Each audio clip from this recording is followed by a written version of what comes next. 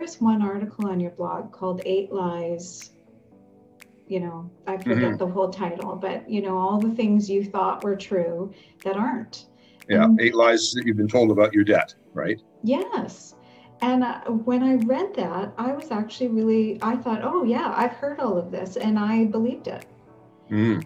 So, what I didn't, can you speak to me a little bit about how uh, credit companies uh, will sell debt to other companies and, mm. and that sort of gives you, I don't want to say additional leverage, but you know, there it's like a whole different shoot match, and I think uh, people don't generally know about that kind of thing. Right. So typically, if if uh, a debtor is unable to make payments on a line of credit or a credit card, uh, that that company will try for the 60 to 90 day period to collect on their own.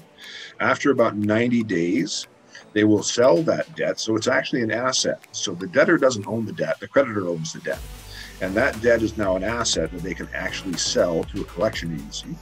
And collection agencies will buy that debt for sometimes 30 cents on the dollar, 20 cents on the dollar. So the bank will redeem some of the money and write the rest off, of course. And now your debt belongs to the collection agency.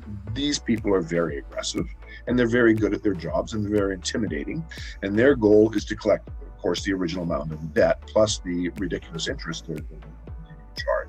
And so when they can, if they can get you to make a settlement offer with them anywhere near the original value or even 50%, they're still making a profit because they bought the debt at 20 or 30 cents Wow.